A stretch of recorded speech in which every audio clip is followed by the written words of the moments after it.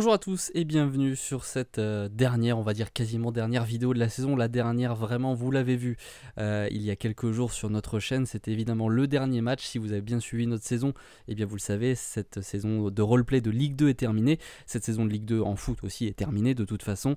Et donc le FCMS est champion.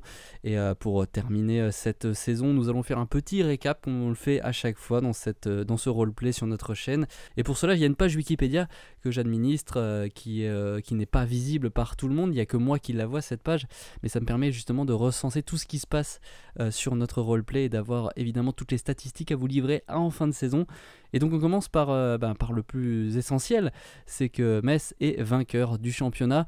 Metz qui a, été qui a eu un parcours un peu plus mitigé Coupe de France, Coupe de la Ligue, 16e de finale en Coupe de France, deuxième tour en Coupe de la Ligue. Mais on va se concentrer surtout sur ce championnat de Ligue 2 qui a été remporté. Euh, vous le voyez, c'est la deuxième fois que Metz remporte en roleplay euh, dans notre édition. C'était la 15e édition cette année. Deuxième fois, champion en 2015, donc champion aussi en 2019. Et puis on le rappelle, Metz avait été aussi champion de Ligue 1 en 99 et 2008 dans notre roleplay. Et on commence donc avec l'avant-saison qui nous avait permis de voir déjà que le FCMS pouvait faire de grandes choses cette saison avec euh, sur les 5 matchs 4 victoires, une défaite. À cette époque, il y avait encore Dosevi euh, qui est parti malheureusement quelques temps après. Euh, Dosevi qui était sur une trajectoire folle et on pensait vraiment que ça allait être vraiment un des meilleurs joueurs de cette saison. Malheureusement, il nous a quittés. Mais il avait commencé par un doublé dès la deuxième journée de, de matchs amicaux. Boulaya était là aussi, Coad aussi était là, Nian en passeur, donc voilà, tous ces joueurs qui étaient déjà là et qui, on le verra, ont fait une énorme saison ensuite. Après, évidemment, le Mercato a fait son, œuvre. Hein. et puis, on est arrivé donc sur ce championnat. Championnat qui est parti sur les chapeaux de roue pour Metz, puisque 2-0 dès le premier match, donc avec Dosevi qui était encore là, 3-0 ensuite contre Orléans. Et encore une fois, les trois plus gros joueurs de cette première partie de saison qui étaient là déjà. Nian, Coad, Montero, trois joueurs qui euh, étaient évidemment euh, bien présents et qu'on a revu ensuite, on le verra dans les statistiques tout à l'heure. Et puis ensuite, euh, bah, ça s'est un petit peu calmé, 0-0 contre Clermont, 2-1 contre défaite 2-1 contre Ajaccio, avec l'Everton Pierre qui nous avait mis un but qu'on a recruté ensuite en fin de saison. Euh, et puis enfin, on termine ces 5 premiers matchs par ce score de 3-0 contre les Stacks avec un doublé de Nian, un but de, de Gagpa, Nian qui était aussi en passeur. Donc voilà, encore une fois, des, joueurs qu'on a vus encore très longtemps cette saison. Vous le voyez en termes de place, on est resté euh, pratiquement euh, bah, dans les 5 premiers hein, pendant, ces 5 premiers matchs, deuxième même.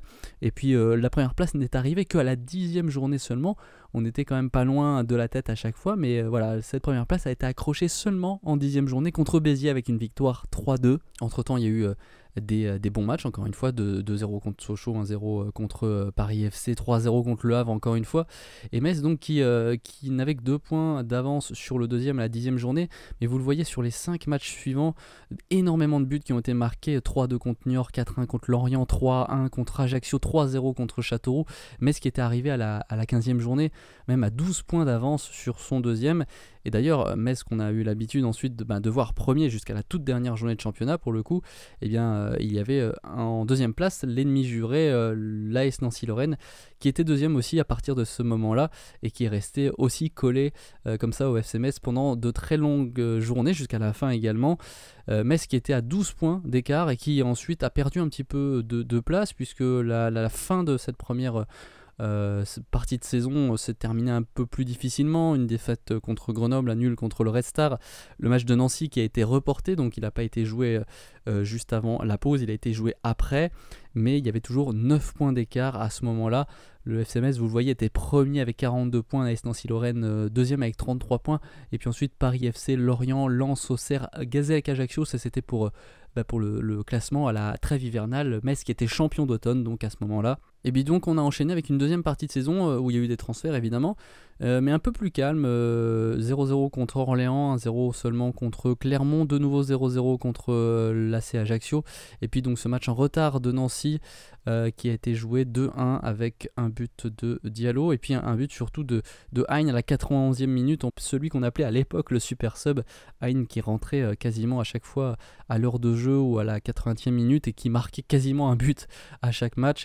C'était période euh, très faste pour lui. Après, il a un petit peu disparu. Et puis, euh, sur cette fin de, deuxième partie de saison, encore une fois, un petit passage à vide, hein, même un gros passage à vide pendant quelques journées. Metz qui était toujours en tête mais qui n'était qu'à 3 points d'écart, qui, est tombé à 3 points d'écart sur le deuxième Nancy.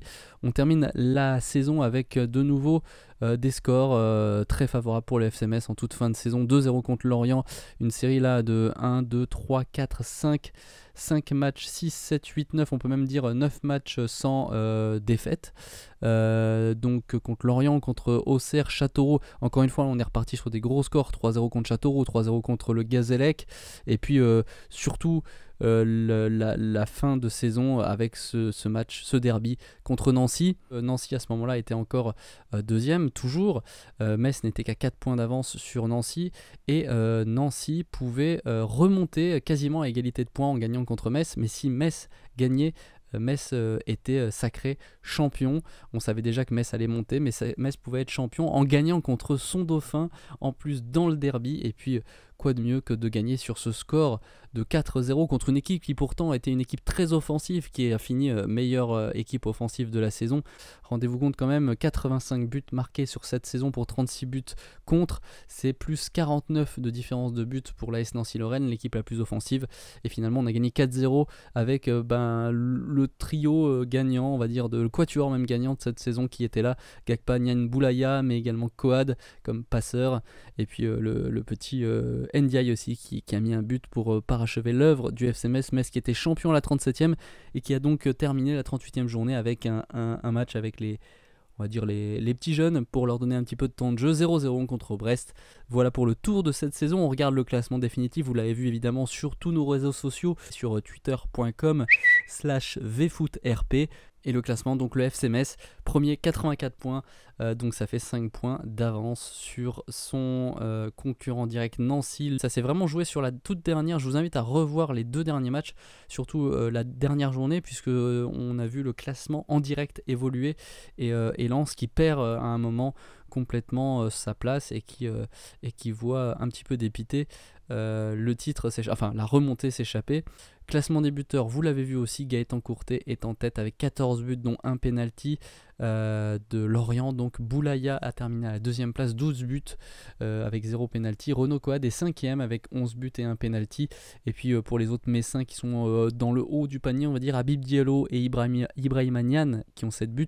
Gakpa, Ayn et Montero qui ont 4 buts, Adama Traoré qui a 3 buts. Côté passeur, Senyan qui est en tête avec 10 passes.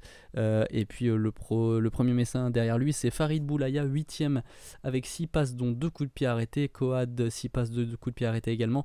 Et puis un petit peu plus bas, on a Abib Diallo, Open Get avec 5 passes, Gakpa et Ayn de nouveau avec 4 passes. Voilà, la première partie de ce récap est terminée. En attendant la deuxième partie qui arrivera très très vite sur notre chaîne, je vous invite à aller dans les commentaires, cliquer sur les deux sondages Stropol. Ce sont des sondages qui en gros sont les euh, trophées UNFP pour cette saison de roleplay.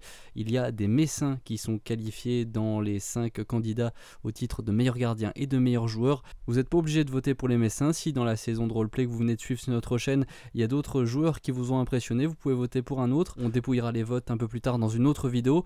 En tout cas, votez, c'est très important. Les liens sont juste en dessous dans la description. Et n'hésitez pas à liker, à partager, à vous abonner à cette chaîne ou à mettre un petit commentaire pour me dire ce qui vous a plu dans cette saison. On se retrouve très vite sur la prochaine vidéo de récap et puis ensuite sur la prochaine saison évidemment sur Virtual Football Roleplay. Merci de nous avoir suivis, à très vite, ciao